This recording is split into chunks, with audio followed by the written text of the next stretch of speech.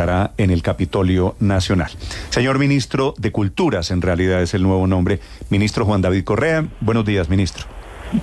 Buenos días, Néstor. Buenos días a la mesa de trabajo. Ministro, ¿cómo es el trayecto de aquí en adelante, ya con el cuerpo de Fernando Botero? ¿Qué es lo que han planeado ustedes? Bueno, ustedes quieren bueno, gobierno y familia, un poco a varias manos. Y Banco de la República, y Museo de Antioquia, y Gobernación de Antioquia, nos hemos unido para, pues, para darle una bienvenida y un último adiós al cuerpo del maestro Fernando Botero. Hoy a las 11 de la mañana habrá una ceremonia privada con su familia en el Capitolio y a partir de la una de la tarde se abrirán las puertas del Capitolio para que las colombianas y los colombianos se acerquen, puedan irle a dar su saludo, eh, su último adiós y eso durará todo el fin de semana de 10 de la mañana a 4 de la tarde en el Capitolio y el lunes a las 11 a las 10 de la mañana habrá una misa en la Catedral Primada eh, en su honor es una misa a la que hay algunos invitados, pero también habrá acceso al público, a las personas que quepan.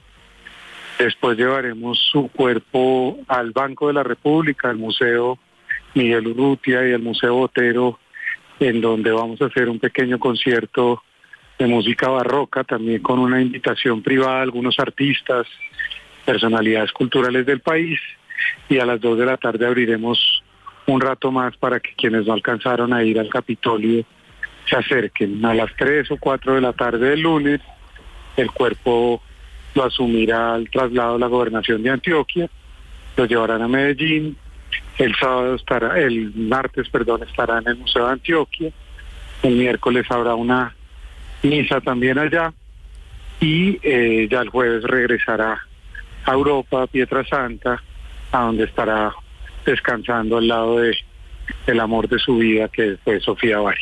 Sí, su, su, su, señora, su esposa que murió hace, hace apenas meses.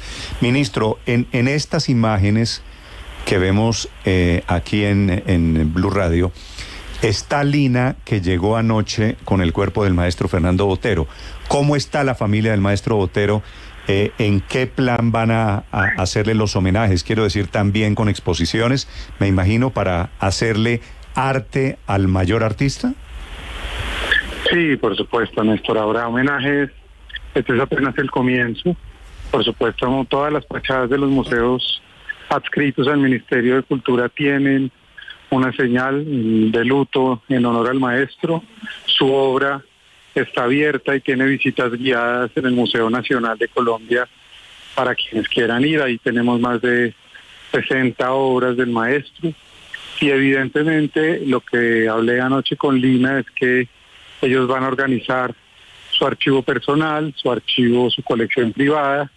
Ya están creando un grupo de gente que va a estar a cargo de verificar muchas de las solicitudes que hacen para que se verifique la autenticidad de toda una obra tan prolífica. Es una obra realizada a lo largo de 70 años, lo cual ustedes pueden suponer que es de una magnitud enorme y evidentemente se irán sumando homenajes, exposiciones. En Colombia el próximo año, por supuesto, tendremos exposiciones y en el mundo entero, me decía Lina ayer, ha habido ya solicitudes para empezar a hacer un gran homenaje de aquí en adelante a uno de los artistas más conocidos del mundo, no solo de Colombia. Mm.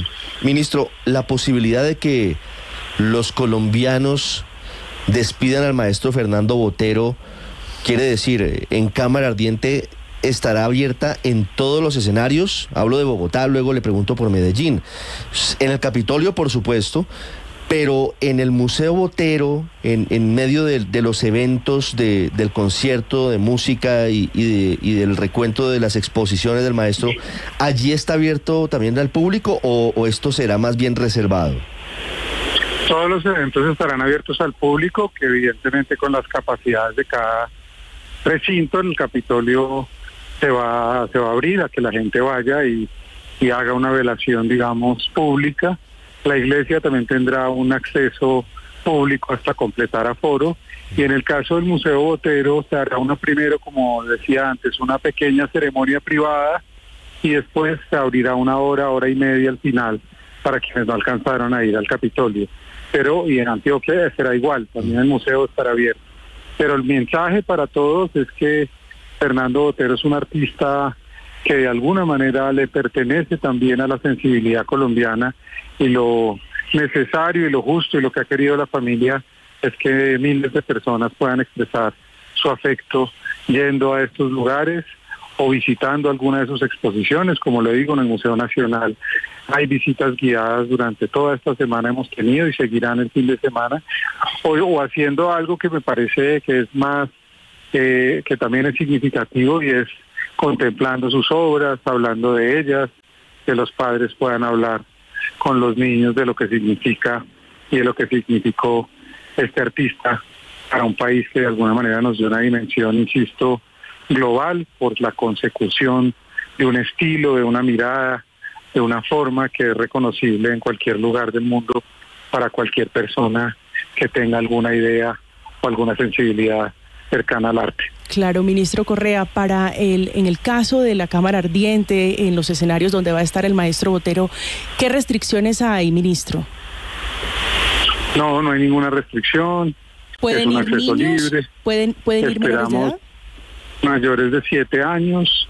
Esperamos que sea pues un evento público, un evento de duelo, un evento simbólico de concentración, de silencio, de tranquilidad, de reflexión, de entregarle también al maestro eh, nuestra presencia, también nuestro pensamiento y nuestra reflexión si es que se acercan allí.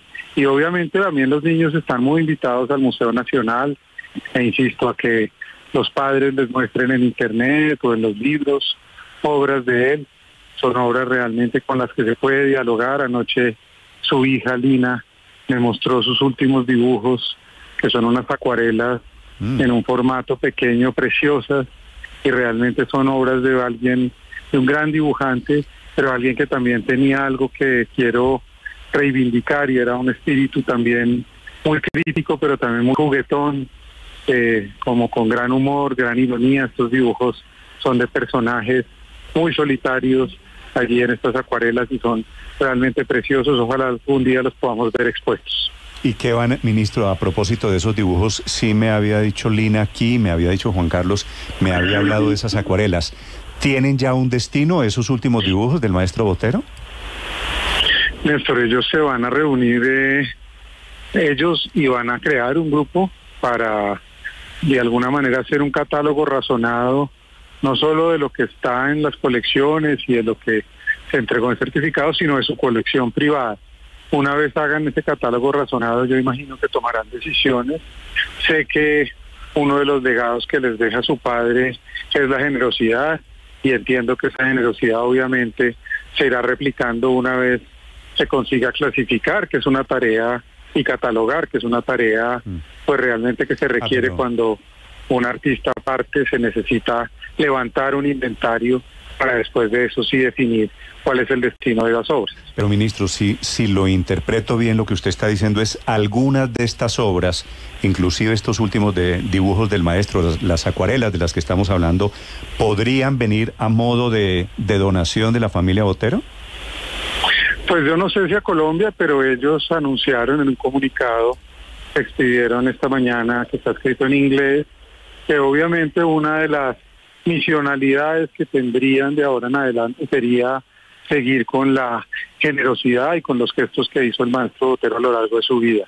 Ojalá, y eso lo conversaré y les haré una solicitud formal, ojalá en Colombia podamos recibir algo de ese legado que ya nos entregó y gracias al cual miles de artistas colombianos o de turistas o de visitantes pueden tener acceso a obras del arte mundial que difícilmente podríamos tener en este país y que hoy están en el Museo Botero en el Banco de la República. Vale, usted va esta tarde, me imagino, ministro, a, a encabezar con el presidente el homenaje que han previsto.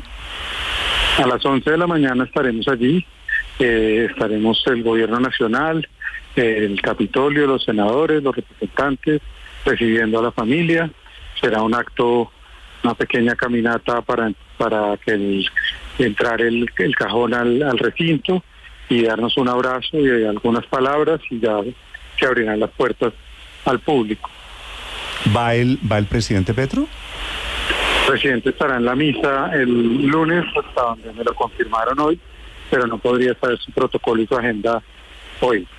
Vale, vale, es el ministro de Cultura, el ministro Juan David Correa, hablando de los merecidos, merecidísimos homenajes que comienzan hoy para el maestro Fernando Botero.